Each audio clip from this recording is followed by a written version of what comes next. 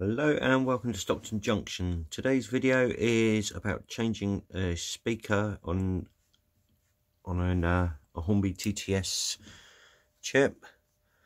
Um, main reason for me changing it, the Hornby TTS isn't the best sound, but it's reasonable, it's okay, and at the moment I would have left it if it had fitted. I fitted this TTS and into this class 33 body shell for the Heljan. Um, I am aware that it's a class 31 TTS sound chip and I know that's not the right sound for that loco, but it's going to do for now until later on when I'm able to purchase a more expensive chip, which is going to be over about £100. So at the moment, that's what's what I bought and put in there when I bought the loco. It's going to stay for now. Um, but the problem I do have is that this sits too high, uh, even at its lowest point where it will fit in the body. So the body shell will not sit flush onto the chassis. So I needed to reduce the speaker size. So I bought, went onto eBay, used uh, Road and Rails site on eBay and bought myself one of these iPhone speakers. You can see it's very, very thin. I mean, compared to the Hornby, it is tiny. And these are meant to be better sound than that as well. So we will have a little see and hopefully it will be all right. I've already pre-wired, soldered two wires onto the tabs there because I'm sure anyone watching this already knows how to solder so I don't need to explain how to wire that part up. Um, I'll just show you the loco for now. Might give you a comparison of the difference in sound from now till later which isn't too bad but switch that off for now. And what we will do is we will remove the old speaker.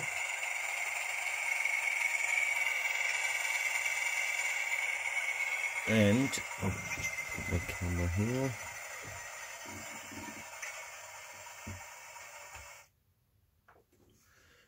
So she'll remove that from the tracks and place that gently on my board. The first thing we need to do is take the old speaker off.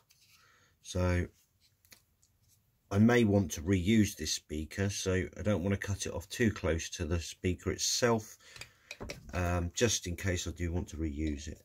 So just going to snip that off, leaving a little piece of wire so if I ever wanted to use that for something um, it's available. I'm actually looking at putting some sound into areas on my layout in the future like in the church etc so something like that might be an, an ideal little speaker to fit inside a building. So it will get reused at some point. Well I say when you're cutting these wires be very careful. They're very very thin. It's easy to cut straight through. And um, cut the actual wire as well. Now normally I would use a wire cutter but because of the thickness of these I uh, usually use wire strippers but what I'm going to do I just literally place the knife on the plastic sleeve just to get a little nick into it very very little and then I can pull off the plastic sleeving Uh, obviously then I'm just going to twist the ends of the wires till they're a nice tight fitting like the ends of those. And the one thing I found out about this which um, I did ask about because there was no instructions came with it. I literally just got that. Is what way to wire it up. because there's no plus or minus on here and the answer I got from them was either way it makes no difference apparently so we shall give that a try and um, the other thing I will do is going to use some of this heat shrink to cover the joins up. So I'm going to cut ourselves a little piece there of those. Just lost one across the table. So we've got those. So do with those. I'm going to just slide those over here for now. And then we'll come back to those later on in a minute. And I'll just uh, so just going to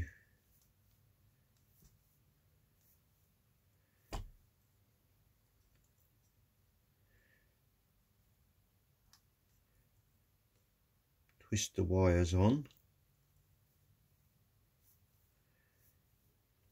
And I think at this point before we decide to solder those wires I think now would be a good time to just give it a test and make sure that it does work.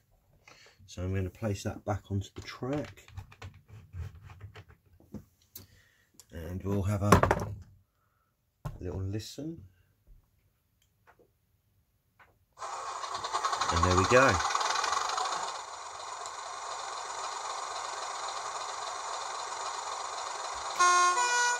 Well, it's definitely a deeper sound to me anyway.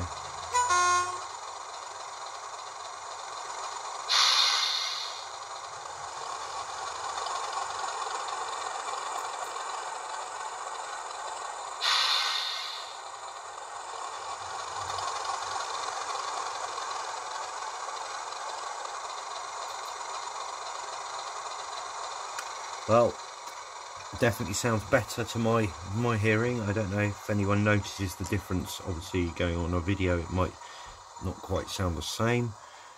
But until that's switched off. If i'll shut down my dcc we'll lift that off. So the next job for that is just to solder these two wires up and finish off the installation of, of it. one thing I always use is one of these. Um, when your soldering iron tip, if you just push it in like so, it gives it a nice clean edge. It cleans off all the excess, any excess solder, etc. Very useful tool for when soldering. Also, try not to keep the heat, the soldering iron on here for more than two or three seconds because the heat will transfer up the wires. It's possible that you could damage the chip. I'm sure that that is a high possibility.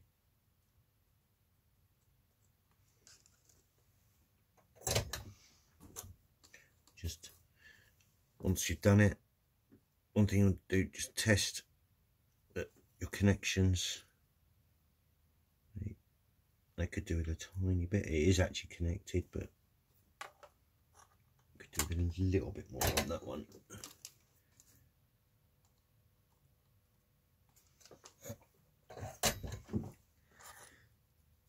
That's better. Right, so just flatten out these joins so that they are in line. And then what we're going to do is we're going to put this heat shrink on. And all we do with that is slide it over the part where the solder joint is. It's hard to do it while I'm trying to watch the camera. I'm just going to hold it that end. And all we're looking at doing is rubbing the soldering iron onto that like that.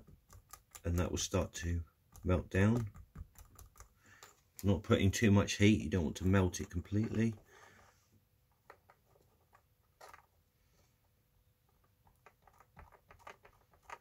Should have cleaned the tip off before I started doing that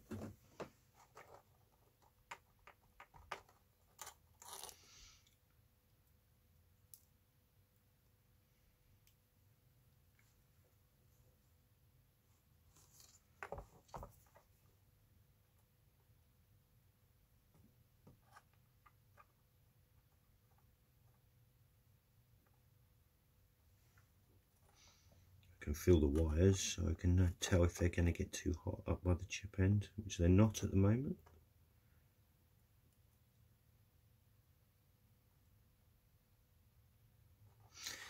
And there we have it. Nicely covered. I just scrape. There's a tiny bit of solder that came off the edge of the iron on the outside of there, which I can take off. That's not a problem. Just rubs off. Those wires now won't short on anything. The only thing I was aware of um, when looking at this is there's metal here and metal here. So on this loco there's a printed circuit board there so I've actually covered it with the electrical tape um, always use electrical tape don't use sellotape sellotape it can actually conduct electricity to a minor amount never ever use that for doing jobs that require electricity going through them. So I'm just going to place that there. So it's not there's some pins on the end here so I don't want to make sure it's away from those. And there's no metal sections anywhere else. I'm just going to put that on there like so. That will hold that in place. No need to uh, tape down the other end. Going to also tape the chip in place but because there's a bit sticking up here and there's not much else room to put it I would have put it here if otherwise. Going to need to place it over that way a little bit which secure the wires in place as well. And there we have it.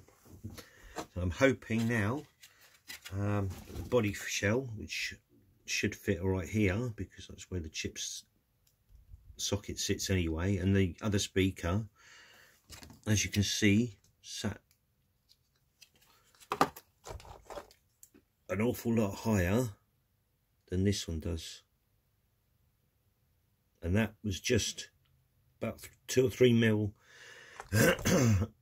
about two or three mil too high to allow the body shell to sit on the other thing you do want to excuse me be aware of is when you're putting your body back onto a loco that you're putting a DCC chip in is the fan. If you want, it won't make an awful lot of difference, but if the fan's this end hole, then the sound's got to travel through before it comes out. If you put it, the fan at the end that the speaker's in, it's always advisable. And that's the body back going back on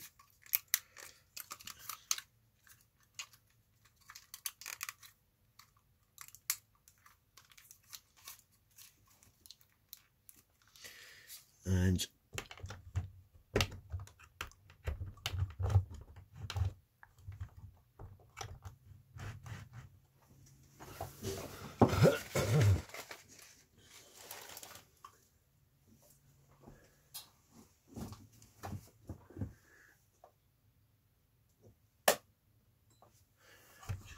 on the main track for a minute. Make sure that's on correctly. And hopefully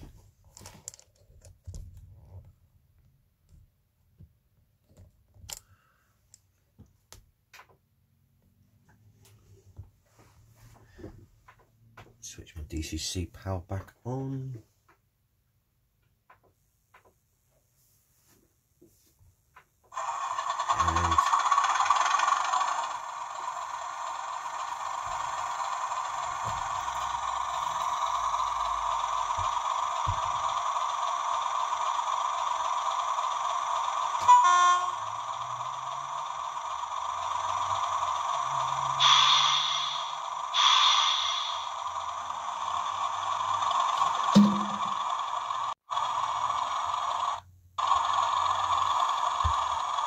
dirty bit of track there as I haven't cleaned my tracks today before the video.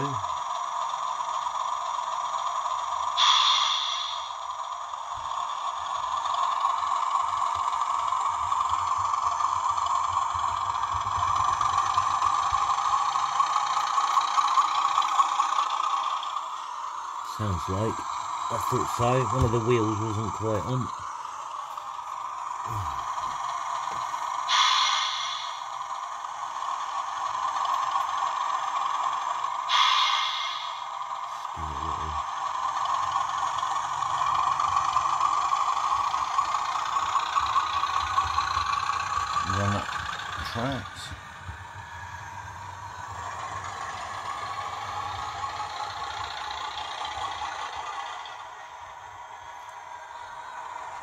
Bye.